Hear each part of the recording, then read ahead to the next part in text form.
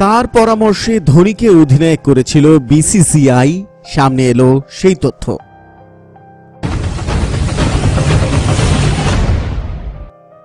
শুধু ভারত নয়, ক্রিকেট বিশ্বের ইতিহাসে অন্যতম সেরা অধিনায়কের নাম মহেন্দ্র সিং ধোনি। অধিনায়ক হিসেবে ভারতীয় ক্রিকেট দলকে যে সাফল্য শিখরে নিয়ে গিয়েছিলেন ধোনি তা এক কথায় ভারতীয় ক্রিকেটের স্বর্ণযুগ। দু হাজার সাত সালে ক্রিকেট বিশ্বকাপের গ্রুপ পর্যায়ে বিদায়ের পর ভেঙে পড়েছিল গোটা ভারতীয় দল। সে বছরই প্রথম টি টোয়েন্টি বিশ্বকাপে যেতে চায়নি দলের তারকা ক্রিকেটাররা। অপেক্ষাকৃত অনভিজ্ঞ দল নিয়েই দক্ষিণ আফ্রিকা গিয়েছিল ভারতীয় দল। সে প্রথম ধোনির কাঁধে দেওয়া হয়েছিল অধিনায়কত্বের দায়িত্ব। আর তারপরেরটা ইতিহাস।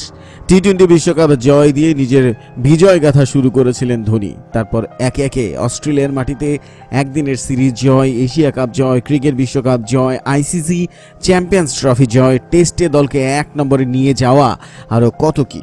ধোনির সাফল্যের পরিসংখ্যান অনেকই জানা, কিন্তু উইকেট রক্ষক ব্যাটসম্যান ধোনি অধিনায়ক হলেন কীভাবে? কার সুপারিশে তা অজানা সকলের?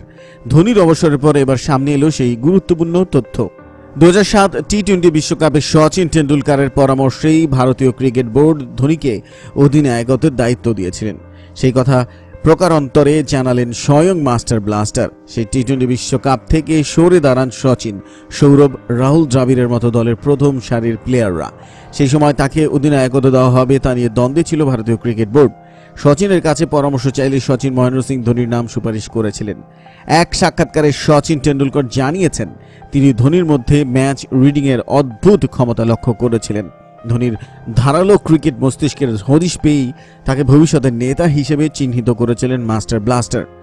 গোটা বিষয়টা কীভাবে সম্পন্ন হয়েছিল সেই গভীরতায় যাচ্ছি না। তবে হ্যাঁ আমাকে জিজ্ঞাসা করা হতে আমি নিজের উপলব্ধির কথা জানিয়ে দিয়েছিলাম। মাস্টার ব্লাস্টার আরও বলেন, আমি দক্ষিণ আফ্রিকায় যাব না বলে জানিয়ে দিয়েছিলাম। আমার কয়েকটি চোট ছিল, তবে সেই সময় আমি সচরাচর স্লিপে ফিল্ডিং করতাম। ধোনির সঙ্গে আলোচনায় বুঝেছিলাম, ওর ম্যাচ রিডিংয়ের ক্ষমতা রয়েছে। ওর ভাবনা চিন্তার কথা বুঝতে পারতাম, সে কারণেই আমি বোর্ডকে পরামর্শ দিয়েছিলাম। ধোনির হাতে দায়িত্ব তুলে দেওয়া যেতে পারে, ফলে এম এস ধোনিকে জাতীয় দলে সুযোগ দিতে ধোনির প্রতিভা চিনতে যেমন ভুল করেননি সৌরভ গঙ্গোপাধ্যায়, ঠিক তেমনই ধোনির অধিনায়কত্বের দায়িত্ব সামলানোর ক্ষমতা প্রসঙ্গ বুঝতে পেরেছিলেন সচিন টেন্ডুলকার ফলে জহুরিরা সঠিক সময় মতো আসল জোহর চিনে নিতে ভুল করেননি, সে কথা বলাই যায়। এদিকে যুজবেন্দ্র চাহালের বড় খোলাসা, এই কারণে বাধ্য হয়ে অবসর নিয়েছেন ধোনি। ভারতীয় ক্রিকেট দলের বর্তমান সময়ের দুই তরুণ স্পিন বোলার যুজবেন্দ্র চাহাল আর কুলদীপ যাদবের ক্যারিয়ার মহেন্দ্র সিং ধোনির প্রচুর যোগদান রয়েছে। এই দুই স্পিনারই মহেন্দ্র সিং ধোনির নেতৃত্বে ক্যারিয়ার শুরু করেছিলেন আর তাদের স্পিন বোলিংয়ের জন্য উইকেটের পেছনে থেকে ধোনি ভীষণই ভালোভাবে সামলেছেন। যে কারণে আজ এই দুই স্পিনার আজ দলে ভালো পজিশনে রয়েছে মহেন্দ্র সিং ধোনি গত সপ্তাহেই শনিবারে নিজের আন্তর্জাতিক ক্যারিয়ারকে বিদায় জানিয়েছেন আর এর সঙ্গেই এখন চাহাল আর কুলদীপ ভারতের হয়ে খেলার সময় ধোনির সঙ্গে আর কখনো পাবেন না।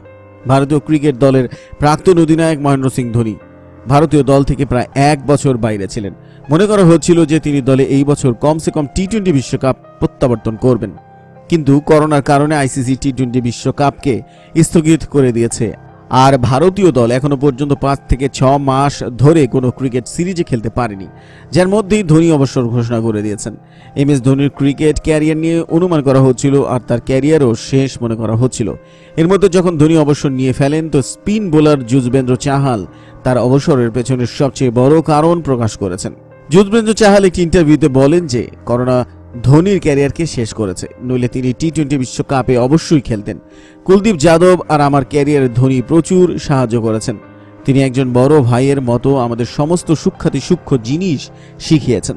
যদি কোনো ভুল হতো, তো উনি আমাদের বোঝাতেন। ওর উইকেটের পেছনে দাঁড়ানোয় আমার দুজনেরই প্রচুর ফায়দা হয়েছে। উনি কখনো আন্তর্জাতিক ক্রিকেট খেলতে পারেন, আর আমি চাইব যে উনি এখনও খেলুন। ধোনি যদি মাঠে থাকেন তো আমার পঞ্চাশ শতাংশ কাজ হয়ে যেত। ধোনি আগে থেকে জানতো যে পিচের আচরণ কেমন হবে আর এতে আমরা সাহায্য পেতাম। যদি উনি না থাকতেন তো আমাদের পিচের ব্যাপারে বুঝতে দু ওভার লেগে যেত। So dear mass cricket fans আমাদের এই ভিডিওটি নিয়ে আপনার মতামত কমেন্টস করে জানান। নিত্য নতুন ক্রিকেটের সব আপডেট পেতে মাস ক্রিকেট ইউটিউব চ্যানেলটিকে সাবস্ক্রাইব করুন বেল এখানে প্রেস করে রাখুন এবং এই ভিডিওটি দেখার জন্য ধন্যবাদ।